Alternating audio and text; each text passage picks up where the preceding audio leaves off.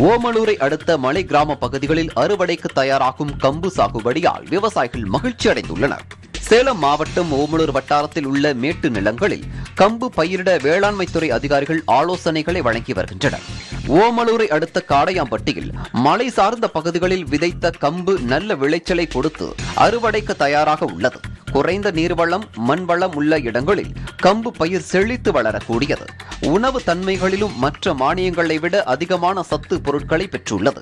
அரிசியை மட்டுமே உண்பதால் வரும் சத்து குறைபாடுகளை போக்குவதற்கு கம்பு மிகச்சிறந்த தானியமாக உள்ளது. மானாவாரியாக ஆடி புரட்டாசி பட்டத்திலும் இரவை பாசனத்தில் மாசி சித்திரை பட்டங்களிலும் பயிரிடலாம் என்று அதிகாரிகள் கூறுகின்றனர். கம்பை பயிரிட்டால் விவசாயிகள் நல்ல லாபம் பெறலாம் என்று அதிகாரிகள் தெரிவிக்கின்றனர்.